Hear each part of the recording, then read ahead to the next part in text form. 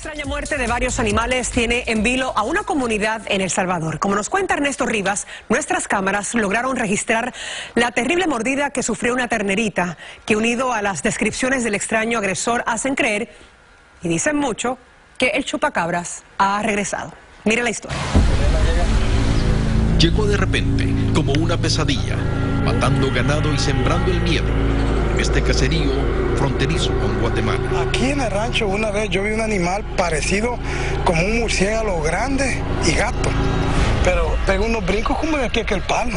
Roberto no sale de su asombro al describir la bestia que atacó a su ternera. Está bien extraño porque yo jamás en mi vida ha visto algo como esto. Lo que le extraña es la mordida, grande, certera y sin sangre. Pueda que, que haya sido el famoso chupacabra, como dicen aquí. Por eso estas mujeres ya no lavan tranquilas, porque el ganado llega al río a saciar la sed y el extraño ser podría atacar. Cuando andan molestando, molesta ese animal de veramente y como cuando haya de comer algo, pues aprovecha el animal también. supuestamente dicen que es como forma de un perro. Tal y como ocurrió en el año 1995 en Puerto Rico, cuando surgió el fenómeno llamado chupacabras. La gente lo describe como algo fuera de este mundo. Es como una persona que sea que tenga ayuda con el demonio, ¿verdad? Y se muere y la pena que impacta, ¿verdad? Las redes sociales han difundido imágenes como estas. Para muchos son exageradas, pero para Adrián Somoza son reales. Ahí se prendía y chupaba la sangre y otros por allá quedaban. Eh, eran como bichitos. Pero eso volado como que era tornillo, así rápido. Adrián cuida este rancho y no duda ni un momento en decir que vio al mismísimo chupacabras.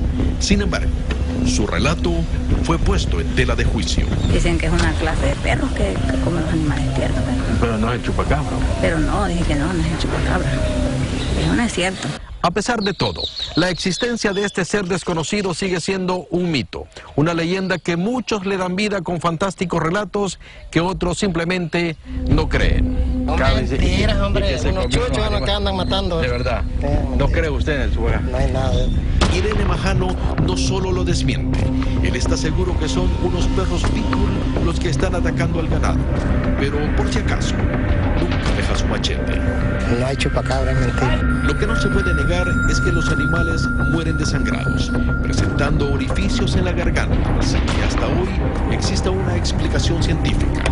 Situación que hace volar la imaginación. Dicen que es como un perro, pero el cuerpo es como uno de humano y las orejitas son chiquitas. Cuando lo miran el animal vuela, eso es lo extraño que, que dice la gente. No, es mentira eso. El chupacabra no creo que exista. Ha de ser algún otro animal que, Una mascota extraterrestre o un experimento fuera de control son las hipótesis más nuevas en torno al chupacabras. Historias que seguirán surgiendo hasta saber la verdad. Tanto los que creen como los que no creen están de acuerdo en que algo extraño está pasando. Bueno, los vecinos están montando guardia por las noches e intentan inventar una trampa secreta para capturar a este extraño ser que, como saben y pudieron observar, les ha robado la tranquilidad.